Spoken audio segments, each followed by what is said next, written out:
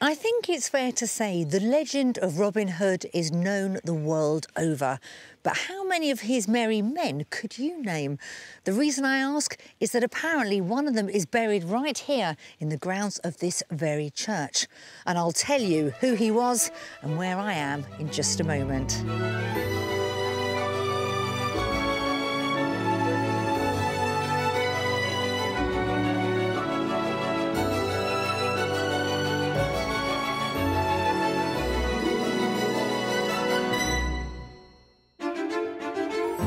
Today I'm with a couple who are dreaming of a new life together if they can get past the weather and a few character features. What do we think as we first walked in? I'm not very keen on dark beams. But a few hidden gems might brighten their outlook. Through here, in your dining room, mm -hmm. you have a cupboard. But it's not just any old cupboard. Today, I'm in the Peak District at the Church of St Michael's and All Angels in the village of Hathersage. And this, according to the headstone, is the grave of Little John, who it seems wasn't quite so little after all. Now, the story goes that the grave was opened in 1780 and the thigh bone found inside measured 30 inches long, which made the person to whom it belonged to over seven feet tall. Now, whether it was Little John or not, from way up here, whoever it was would have had the most terrific views of what was later to become Britain's very first national park. The Peak District National Park sits in the centre of England, mostly falling within four counties, with the majority lying in Derbyshire. It was the very first area to be designated as a national park in 1951, and every year millions of people escape here to enjoy its spectacular panoramas, challenging hikes which stretch across 1,800 miles of footpaths and timeless stone villages. Bakewell is often called the heart of the Peak District. A prosperous country town, it's the biggest settlement in the park. Visitors are drawn by elegant stone architecture, specialist markets, and the town's signature dish, the Bakewell pudding, created here in 1820.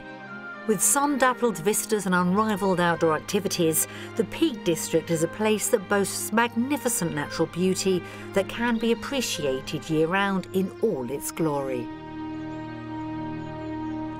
It may not surprise you to learn that houses in national parks come at a premium, and the Peak District is no exception.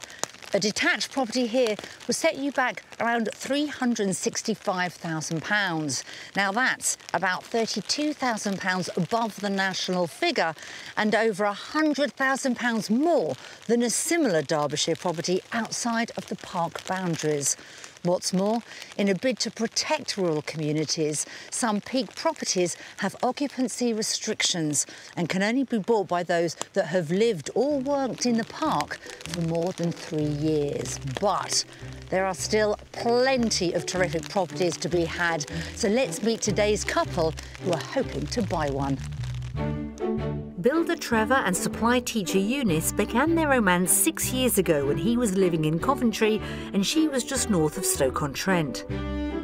I met Trevor on the internet when we were emailing and then we decided to meet in a pub. We didn't think there'd be anything come of it because of the distance between us. And hey, six years later, we've moved in together. We'd both been sort of single for quite a while and Eunice just clicked and we, have got a little bit of chemistry, haven't we? After years of juggling a long distance relationship, Trevor moved in with Eunice two months ago, but now they both feel they want to build a home together. This is Eunice's house, my house was mine. It's never quite the same, so yeah, we, we, we're both at a different stage in our life, aren't we? It's, it's the next phase, so. I've lived in this house for well over 30 years and it's time now to start a new life, exciting life, exciting to uh, move to a new area and a new house. While Trevor will be semi-retired, Eunice plans to continue working part-time. When we move, I would like to carry on supply teaching, um, perhaps one day, two days a week. I will probably want to still do a little bit of perhaps property development just to keep something on the go I, I, don't, I don't want to sit around and do nothing. When it comes to finding their home, they've decided to search in the Peak District. Probably because I've met Eunice, I've discovered this area. Um, I have been to the Peak District before, and I just love the area. I love the scenery and the hills, which you don't get in the sort of flat Midlands. Space to develop their hobbies is another reason for the move to the peaks. I've got a little old classic car, which I like to play around with and take to pieces, and I'm looking forward to going up in the Peak District and using it a bit more around here. Above all, Trevor and Eunice are looking forward to building a life together in their new property. And also buying a place we put our, our own stamp on it and then sharing our hobbies together and entertaining and once mm. we've got it right. So really that's, it's quite an exciting time for us, isn't it? Yeah, yeah. Trevor's Warwickshire house sale is funding their move, but Eunice is considering renting out her Staffordshire home, so ideally they're looking to buy in the southwest portion of the Peak District. I'm meeting them to discover more about their requirements. Well, Trevor and Eunice, welcome to the Peak District. Thank you. And this exciting new move for the two of you. Mm-hmm. So why have you decided this first home together you're going to settle in this part of the country? Well, from my point of view, I absolutely love walking. So the Peak District with its hills and valleys and countryside, the stone walls, the sheep, really appeals to me. So it'd be my big hobby. Is it? On my doorstep. And Trevor, you're happy to move this way, are you? Because you're a Yes. Coventry lad. Yes, yes. How many years in Coventry? Whole life, born and bred in Coventry. So It's a big move, isn't it? Will you miss it, do you think? Certain parts of it, yes. And I've got family down there, of course, so Well, you've sold your house, so there's no going back. that's right. Uh, but you do have family down there because between you, you've got quite a lot of family, haven't you? How many children in total? Grown-up children? We have five children between us. Any grandchildren? Two. I've got two. Got two. Have you? I haven't got any. So ideally, then, how many bedrooms are you looking for with your next home together? Three bedroom house, Yeah. maybe four. Maybe Yeah. four. Yes. There's going to be lots of sofa beds everywhere. Um, what style are you after with this next home? One with um, character, um, but I would like it light and airy, probably semi-rural with the community quite close to. So you don't want to be too out in the We sticks. don't want No. to be too isolated. preferably not, no. no. Now, this is an interesting one. First time you've bought a home together. Who is going to make, do you think, the final decision? Or will it be a 50 50 split? I think it's 50-50. I'm going to lead. well, there you are. I'm liking the honesty at the start of this house hunt. Definitely. Definitely. Let's remind ourselves how much we've got to spend with this move. Uh, well, we're looking up to 500,000. Possibly a little more If if it's- it's something really Special. on, on the dial. Yeah. Yeah. Well, let's get cracking. It isn't the best of days, sadly, but it's not going to put us off, is it? No. Come on, let's go. Right, okay. With a maximum budget of £500,000, Eunice and Trevor would like a character property with at least three bedrooms for visiting family and a garage for Trevor to house his classic car. They also want to be near a village community and close to walking trails for Eunice. We've got a wide range of beautiful houses to show Trevor and Eunice, and I'll be asking them to guess the price of each property before I reveal it. When it comes to our mystery house, it has much more than meets the eye.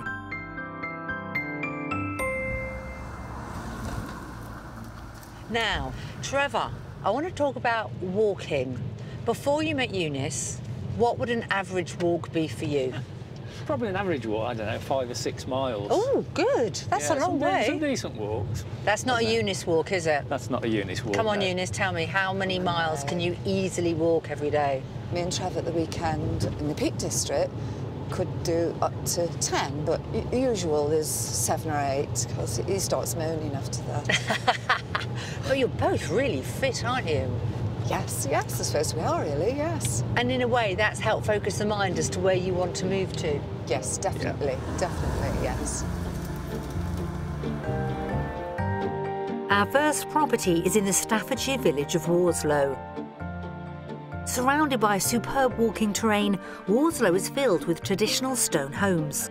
The 19th century Church of St Lawrence features stained glass windows by the distinguished designer William Morris. There is one pub in the village which is within walking distance of our first house.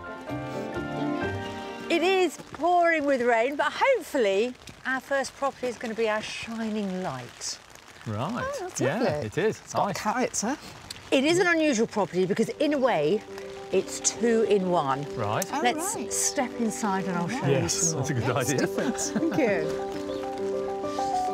I'm encouraged by their favourable reactions. Originally built in the 1800s, this house has previously been used as a post office and a blacksmith's. The home has been recently converted and modernised and is currently unfurnished, but definitely full of character. The good news is it's warm and it's dry. So let's start the tour. Welcome Yeah. to your home. Lovely. First impression's great. So, apart from the size and the spaciousness of it, what first hits you when you walk into this room? The open plan, which I Yes. quite like actually. It was a very small cottage from outside, but when you come in, it's nice and open and light, definitely. This is the sort of kitchen and eating area that we're looking for. And it's quite a nice Yeah, it's entertaining nice. room, isn't Yeah, it? it is. Yeah. yeah. So, you have your wood burner Yeah, here. Yeah, nice little wood burner as well. Yeah. Always very Oh, important. Yeah. definitely, yes. You've got the patio doors out onto your garden, as you can see from here. Yes. It also has a utility room, Eunice, Oh, lovely. with access outside. Just put my boots in there, dirty Yep. boots. Absolutely. Don't come in here. Very important to Eunice, that Yes. A positive start. Yes, Let me lead you through and show you the sitting room. One. Right. Featuring all the mod cons, including underfloor heating, the ground floor also has a guest WC and a small study. So, I can imagine you two would spend a lot of time in that wonderful kitchen, but it's important to have a sitting room that you're happy with as well. What do we think of this one? Mm, First impression's a little bit tiny. It's hard to see it when you don't have any furniture as well. You've got to get that yes. imagination going, Yes. and and sure this is the whole of houses like this. But I'm going to say blank canvas. You can put your own mark on it. Yes, it is. Right. Well, we'll head upstairs and see what you make of that. Okay. Moving onwards, off the first story landing are two oak floored bedrooms and a bathroom with walk in shower and freestanding bath. And then we come to the master bedroom.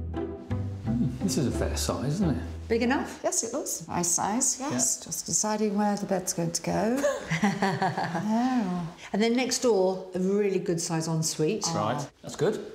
So, what is your first feel? You don't have to be polite. You know, your first feeling is the first house that we've seen together. It's got character, which is what one it to.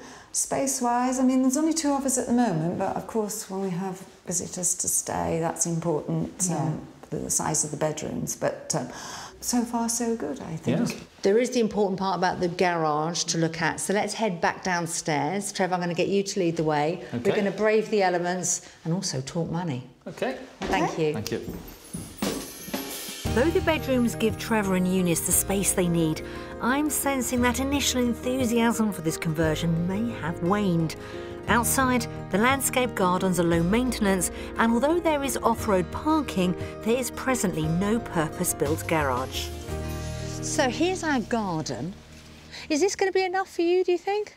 I think it would, I wouldn't it? think so. Yeah. Yes, I think so. So let's talk money, shall we? How much do we think our first cottage is on the market for? Um, I would say £455,000. pounds. And I would say a little bit more, £465,000. Oh, ah. Well, you're close, both of you, aren't Yes. you? Well, yes. The actual asking price is offers between £450,000 and £485,000. Oh. How do you feel about that as I a think, price? I think the price is good. My only issue is the lack of outside space for cars and Yeah.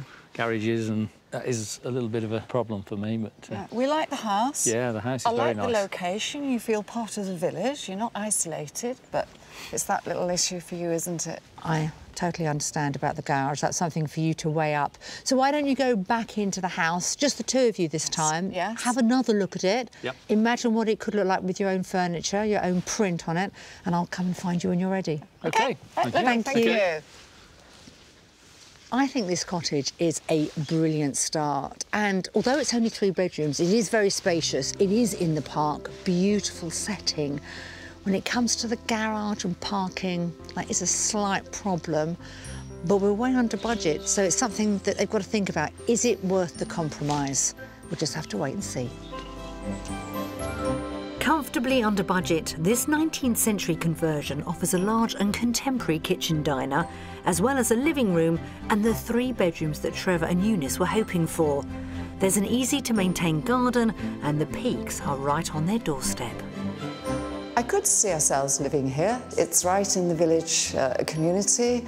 I could go walking every day. I only have to open the door and I'd be up on the hills. I wouldn't have to use a car. So it's a definite plus for me, yes. I, th I think this fits the bill exactly. It's, it's got the character, it's got the style. It, it has been very nicely modernised, so there's very little to do on it. So, yeah, ticked all those boxes. The biggest problem I've got is wanting somewhere with a garage or a space to build a garage. Right, that's it. I think we're going to need these, aren't we? Yep. Ready to go? Yep. Okay.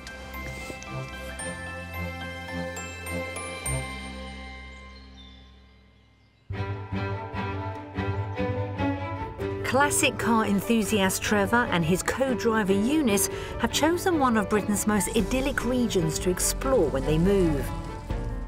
But it was once rail, not road, that drove the economy of the Peak District. And in Staveley near Chesterfield, that heritage is commemorated at the Barrow Hill Roundhouse. Keen to find out more about the region's transport history, Trevor and Eunice are meeting General Manager Mervyn Alcock. So, how important was the railway to this area? Well, originally there were a huge number of collieries around here, and obviously the coal needed carrying all over the country to power the country, to power the machines, because the road network was virtually non-existent, certainly not as developed as it is now. And uh, the trains in this uh, depot itself took the coal around the country on wagons and took it into places where cars and trucks couldn't get to, and fed the country the, uh, the coal it needed. The Roundhouse opened in 1870 as part of the now defunct North Midland Railway from Derby to Leeds and was used to house and maintain engines. It's now home to Britain's second largest collection of locomotives, as well as other equipment and memorabilia from the heyday of British railways. We've got a vast collection of trains here, Mervyn. How did it get to this sort of size? I read an article in 89 which said they were going to flatten the last operational roundhouse, so I started a campaign to save it. And we managed to get a preservation order placed on it in 1991. Uh, and then in 97 we started rebuilding. It took us a year to put the building back together after the uh, dereliction of the roof, etc. And then we invited people to bring their locomotives here. And the collection's grown and grown and grown over the years. Why is it important to you to have this collection here? Well, I, as a young boy, I was a railway enthusiast. I'm very passionate about railways, passionate about locomotives, particularly passionate about the roundhouse. I, I feel that we need to keep these vehicles alive, we need to keep this building alive for, for, for future generations. It's uh, very important to me. The centrepiece of the roundhouse was its turntable, which allowed locomotives to be efficiently stored and more easily accessed. So how did they used to store trains before the advent of these roundhouses? One of the ways was in long buildings with lots of trains with the locomotive in the middle. If you had them in long rows, you would have to move the outer locomotives to collect the inner one. With this, if you look from above, it's like a clock face. So if you needed to fetch a locomotive from three o'clock, you just turn the turntable, pick it up. And of course, also in steam locomotive days, they had a cab at one end. So you brought the locomotive on, turned it, and it was able to go in a different direction. So the big question, Mervyn, is can we see it in action? Absolutely. This is the last operational railway roundhouse in Great Britain. There's a locomotive coming in at the moment. However, you guys thought you were here for a gentle tour. You're not. I need a hand with this. Oh, right, OK.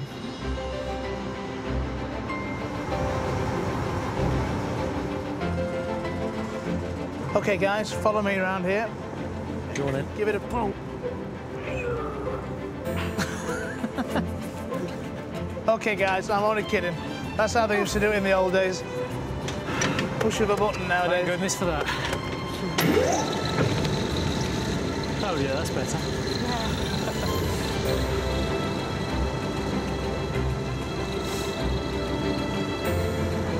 OK, guys, when I put this in, we'll go into the cab. We've still got more houses to show Trevor and Eunice, so we're all aboard for the rest of our Peak District tour. Our second house is also in Staffordshire, in the moorland village of Butterton. Overlooking the beautiful Manifold Valley, Butterton is at the centre of an extensive network of footpaths. Facilities here include a 19th century church, pub and a post office. The centre of this village provides a curious sight as the Hoo Brook briefly shares its path with the street. The house we've come to look at was built in the 18th century. It's a semi-detached farm cottage that also features original agricultural buildings as outhouses, so there's plenty for our couple to consider. Oh, right. Wow, quite substantial. It's totally different to the first house that we looked at, isn't it? The actual house looks quite small, but it's got a lovely cottagey feel from the front. Excellent, excellent. Well, let's see what you make of the inside. Okay. Yeah, let's go. Despite a somewhat mixed initial response to this property, I am optimistic that Eunice might be won over by the rustic interior. The living room is just to the right of the entrance hall. So let's start off, I think this time with the sitting room. Dominated by a large fireplace there. Well, it's probably a very cosy room. I'm not quite sure it's to my taste. It's a bit overpowering with the ceilings being a little bit low and probably dark windows. Unfortunately, I'm not very keen on dark beams. Yeah. If I painted these beams white Yes. and I gave the walls a very light colour, I wonder if you, you might slightly change your mind. That would help. Yeah. Okay. All right. Yes. You can tell I'm not giving up on this one, can't you? No, I can. Let's see how we fare with our country kitchen. There's enough room to eat and cook, and it's quite a sizable area, isn't it? So But to me, it's not light enough That's where you're struggling. for a kitchen. It's not light enough. You might be able to get larger windows allowed at the back. I'm not quite sure whether you will at the front. With your knowledge and experience over the years working in the building trade, you will have an eye as to what is What you can do. achievable. Mm. And hopefully see the potential on my second Yeah, property. well, I'm it. hoping, I'm hoping, Trevor. Nothing's right. impossible. I'm going to squeeze past, we're going to go upstairs. okay. Adjacent to the kitchen, an old piggery has been converted and divided up to provide a utility room and snug, which could be utilised as an additional bedroom. On the first floor, a landing offers access to a family bathroom, bedroom with magnificent views over the nearby valley, and the master bedroom. Now, I can't offer you an ensuite, but I can offer you a nice master bedroom. Good size, I think. It is. This is a good size. Eunice, talk to me about the windows. How are we faring on this one? Well, to me, it's still a little bit dark. I'll be honest, it's not really ticking the boxes for Is me. it not? I feel I've, I've slightly lost you in the house. I'm hmm. wondering whether I can claw your attention back with the outside because there are quite a few possibilities. Happy to venture back out into the rain? Absolutely. Yeah, sounds Thank you. Unlike our first property, this one boasts a wealth of outbuildings, including a large barn and a double stable block, both providing room for more than one classic car if Trevor should choose to expand his collection. As well as a large lawned private garden with vegetable plot, there's also a menage for horses and two paddocks that offer the opportunity for Eunice and Trevor to develop equestrian interests or lease the space out. Potential, that's the word I'm going to use. And I would agree with you. There's plenty of potential here. Well, I'm thinking this property with the outbuildings and the land is going to be quite difficult to price. Who wants to, to guess the price first? I think it's my turn this one, but I'm guessing it's at the lower end of ours, four hundred and fifty thousand pounds. Okay. I would go more than that because of the potential that is actually got here, and I would go for four eighty thousand pounds. Interesting. Well, Eunice, you are the closest because the asking price is £475,000. Oh, I was ah, right. really close then. Well, why don't you go and have another look around and Yep. Have a nose round the barns, and I'll see you in a little while. Thank Okay, you. All right. thank you. Thank you. It does have so much potential, as Eunice so rightly said. However, from the minute they saw this property, they had their reservations, and I can't put my finger on it. I don't know what it is because the location is first class, the house is beautiful, but you never know. Another look around, it might change things. £25,000 under budget, this characterful farm property has two bedrooms with the possibility of a third downstairs. there's a kitchen diner, a cosy sitting room, and outbuildings offering many possibilities for Trevor's classic car. The second property had got lots of potential, lots of character, loads of outdoor space. This one is so different to the first property we looked at. It's in the right location. It's got a lot going for it in terms of potential. It would actually need a lot of work converting buildings and our stage of life, me and Trev. I think probably that would be too much for us. Yep, there's definitely some potential here. We could convert the barns further down Into living accommodation. yeah, into living accommodation or even holiday lets Holiday type of let, thing. yeah. It has got So, potential, yes. Yeah. I can I'm liking the sound of this. Possible plans, yeah. possible. Yeah. I wonder if it's changed your minds. I don't know, but it, things do tend to tick around in my mind a lot, so Yeah, it'll grow. Let you sleep on it because Yeah. that's it for today. Yeah. And then obviously I've got one more to show you tomorrow. Okay. Okay. Shall we hit the road? Yeah. Yes. Ready to see the rain again? Yes. Come Yeah, on. okay. All right.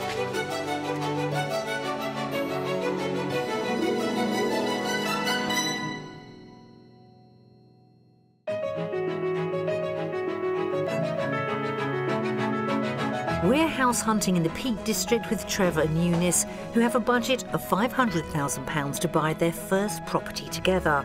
So far, I've presented them with two homes. And coming up, we have an enchanting revelation at the Mystery House. This isn't the only little magic door that this property has. All right. Any idea why? I don't know. Don't know. No. Silence. And I act as midwife alongside some passionate farmers of the future. Take her to Mum. Here you go, Mum. There we are. How incredible was that? We had a tremendous start yesterday with our first property with Trevor and Eunice. And if we could have conjured up a garage, I think we could have cracked it. However, today is all about the mystery house, of course. Now, it dawned on me that between them, they have five children plus grandchildren. So, where are they all going to stay? Well, this is where the mystery house comes into its own with a bonus on top.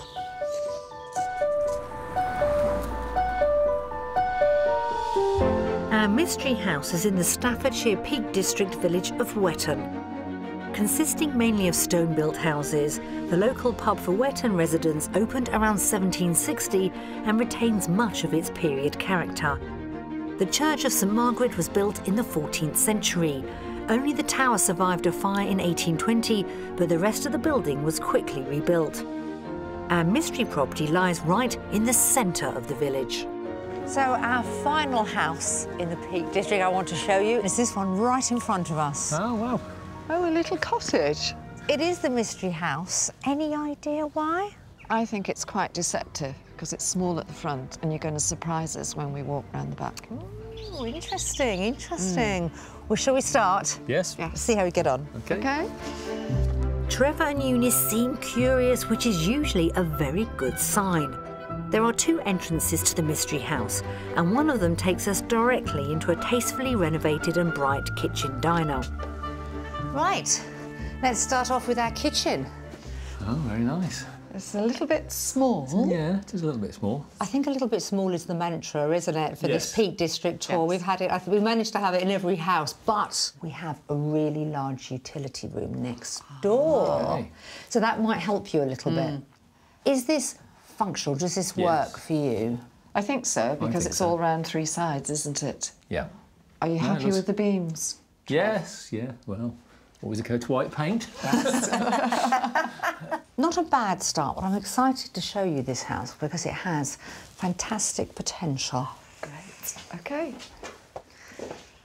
Here is our sitting room, dominated by this enormous stone fireplace oh, with wood burner. yes. Yes. That's nice. yes, That's very it is, nice. isn't it? Yeah. yeah. I love the window. Yeah. Yeah, and the sun's coming in lovely. That's Just that makes for a us. big It- it's lovely Yeah. and light. I'm doing quite well with showing you properties with beams, aren't I? Trevor, how do we feel about these? These these are good because the ceiling is actually pretty high here, so yeah, I'm, I'm quite happy with that. That- Wouldn't need that's to paint them? No, I wouldn't let him paint these. These are staying. Yes, these Yeah, are staying. okay. Yeah. And along the hallway, you've actually also got a separate dining room as well. All right. Oh, Or you could make that into a study if you wanted to. Okay. okay. Some options for you there. Yes. Yep. Wonderful. So far, so good. Yeah. Let's mm-hmm. go upstairs. A very enthusiastic and encouraging response from Trevor and Eunice so far. I'm on tenterhooks to see if it continues on the first floor. Upstairs, there's a shower and bathroom with a deep tub to soak in after long walks. Bedrooms include a small double with twin beds and another complete with a four-poster bed. We're showing our couple the largest bedroom. Lovely size. Love Nice the room. wardrobes. Do you? Love the wardrobes. Caught Wall- your eye? Wall to Just wall. about enough for you then. Yes, wall Yeah. to wall lo- wardrobes. And the light. I love the window because it's a nice light room. Good. Very Light and nice. airy. Mm. Yeah. It's working for you both. It is, mm. yeah. I'm so pleased you love the cupboards as well because they hold a secret, Eunice. Look, Oh, really? your own little ensuite. oh, Great. Oh, wow. yeah. But this isn't the only little magic door that this Oh. property has. All right. Oh no, any idea why? What else there might be? I don't know. Don't. No. Silence. Let's have a look. Up till now, this has been a straightforward cottage in the peaks, but being that it's the mystery house, there's a huge surprise in store. So through here, in your dining room, you have a cupboard, but it's not just any old cupboard. It's another magic door. Ah! Oh, wow. Oh, gosh. It's another cottage. It is. Attached to our mystery house, this adjoining property could offer them two additional bedrooms, a kitchen diner, and a gloriously light sitting room with a stone feature fireplace. What a surprise. That's a complete surprise, yeah. Yeah. Wow. So you didn't see this coming at No. all? Not at all, no. No. But I did say there's more to this house from the outside. You didn't. I? You did. And I thought you might have twigged, but no. No. No. And with that door, you can lock it mm-hmm. and you have two separate properties. Yes. Right. Now, I know you didn't ask for a holiday let because we're thinking your family could come to stay and mm. there's a lot of them. However, should you decide to rent this out, mm. the annual income is just under £17,000 a year. Pretty Is good. it really? Yeah. Yeah. We could live in this end and let Well, the other I, end out. I was thinking that. Hey, We'd use this in the winter and the larger end in the summer. Uh-huh. See, she's already planning. she has, but I'm going to bring you both back to reality, I'm afraid.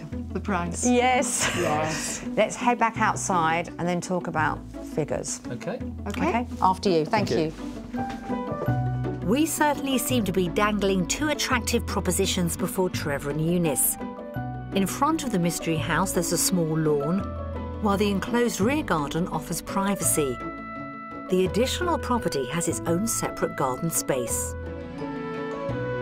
So here we have our driveway. Now, we don't have a garage, but we do have enough land, I think, to put one in, don't we? Yes, I think so. I think there's plenty of room here. Yeah? Yep. Now, you don't have to buy both properties, and I really want to stress that.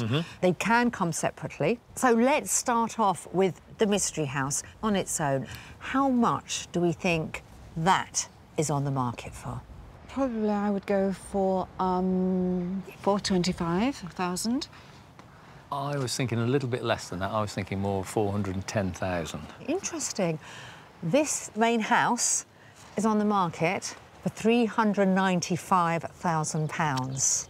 Ooh. Oh, you're closer this time. That's good. That's good, better yes. than what we thought, yes. Yes. So not only is it better than you thought, but it's also, and most importantly, £105,000 under your top budget. That's right. I'm now going to open it up and say if you chose to buy both properties, and you really don't need to, but if you did, the asking price for both properties, £675,000. Now, the reason we decided to show you this is because I know you were considering renting out your property, weren't you? Yes, yes, yes. So there is the option perhaps of selling yours and- for thought there, yes. and having it on your doorstep so it's much easier to look after and you benefit from those extra bedrooms when the family come to stay. Definitely. Yeah. Lot to think about. Yep. Totally appreciate that. Why don't you have another look together on your own? Yep. And I'll meet you when you're ready. Okay, Okay, thank thank you. you. It's an interesting one, isn't it? You know, they were thinking of renting out Eunice's own home. However, if they put all of that together and bought these two properties, they'd get an income, all their family could come to stay, and it is in the most beautiful setting. Well under budget, this charming stone cottage features three bedrooms with the possibility of a fourth. There's a spacious sitting room and separate dining room, while a rear garden provides privacy and space for Trevor's car. Also on offer is a two-bedroom annex, which could be purchased for an additional £280,000. I was really surprised when she led us through the door. It was so narrow. I thought maybe it was a cupboard. I could not believe it was a holiday let uh, so close to. We're certainly going to look at it because we've got other options with your house, which we weren't going to sell, but that might come into the picture now. And we never thought of doing a holiday let, actually. It, it never came into uh, No. our heads, but it's just given us food for thought. Oh, the mystery house. It certainly put them in a quandary, hasn't it? There we are. You weren't expecting that one, were you? Not at all. No, It that's a curveball, that one. So that's it. You've seen all three of our properties. Yeah. Let's go and have a chat. Okay.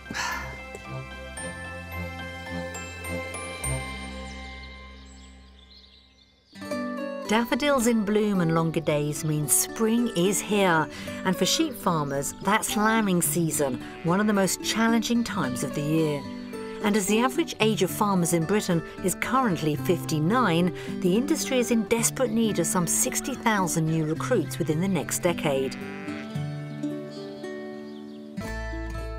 Whilst in the area, I'm visiting Reaseheath Agricultural College just outside the Peaks in Cheshire to meet four farmers of the future Rich, Jemima, Georgia, and Rob. They're learning both time honoured traditional farming methods and the modern techniques that will shape tomorrow's industry. So, thank you. It's great to meet you all today. So, tell me, why did you decide to enrol here? Farming's my passion and I wanted to do that and further my knowledge. And did you know you always wanted to be a farmer? It's in your blood. Yeah, pretty much, yeah. So literally on your course from start to finish, you learn every aspect of, of modern day farming. Obviously, it's learning on the job. If you were any, anywhere else where they didn't have this, we wouldn't have the experience behind it.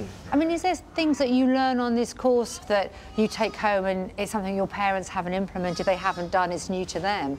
I mean, yeah, absolutely. They're always interested to know what Are we've they? been learning and to actually take an interest in it. And Georgie, are there farmers in the UK who are looking at you in this agricultural college and asking you to do research on their behalf? Currently, um, because it's lambing period and we have uh, orphan lambs, they are going on to a, um, a automatic feeder. So um, that's working with a company in the industry, doing a trial for other farmers to see if it works. How incredible to think in a couple of years' time they might be implementing things that you've helped to research here.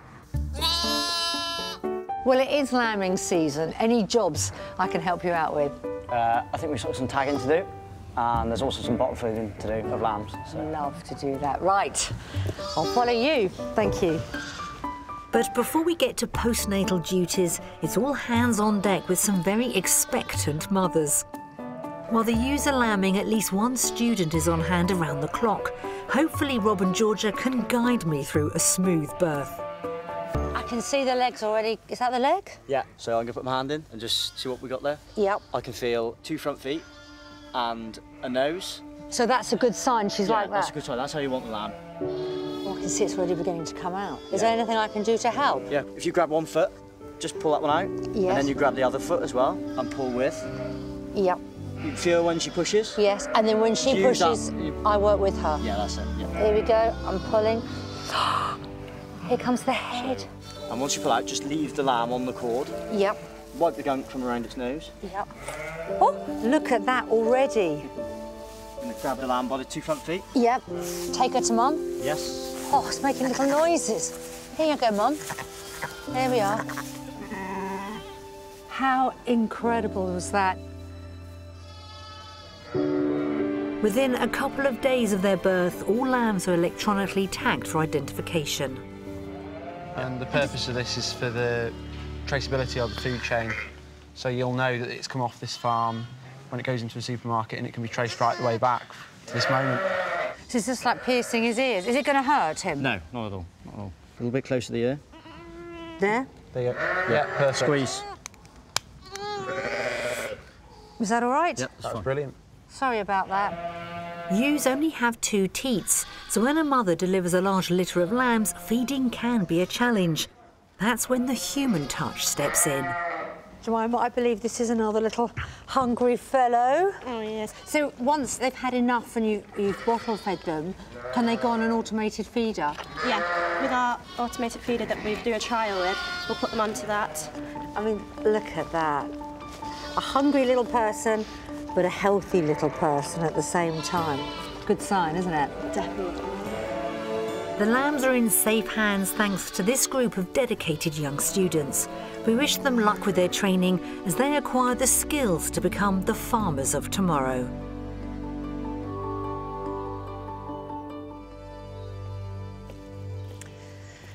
I think the Mystery House left Trevor and Eunice a little bewildered. It certainly was a lot to take in. But are they going to put an offer on it, or indeed any of our houses? Let's go and find out. Well, Trevor and Eunice, you started your relationship commuting up and down the M6. I wonder, have you reached a final destination together? Yes, I think I think we're a long way towards it. I wouldn't say we're quite there yet. Out of all the properties we showed you, is there a favourite? I think the favourite is probably the Mystery House. Is it? Yes. Yes. Yes. I mean, we did like the first house as well, but it just couldn't offer everything that we wanted. I think the Mystery House pretty much did, didn't it? Well, it did, yes. Yeah. Yeah. So when it comes to the mystery, because obviously you've got that lovely main Yes, house, haven't you? Yes. But you've also got the holiday let that is attached. So it's really the main house that you've got your eye on. It is. Yes, really, I think yes. so. Yeah. Yes, rather than the business. So a second viewing, perhaps on the cards. yes, Yeah. yes, we'll consider that definitely. Yes. So the last few days has been a, a positive process for you both. Really enjoyed it. It has Really. been, yeah, really good. And It's really made us think about houses, internal and areas, and um, definitely, yes. Well, obviously, we really hope that you love the Mystery House the second time round and perhaps are in a position to take it a little bit further. But whatever happens, all the very best with your continued search. Your first home together here in the Peak District. Exciting times ahead, and we wish you both the very best of luck. Thank you Thank very you very much. much. It's been really good. Enjoyed it, yes. Yep.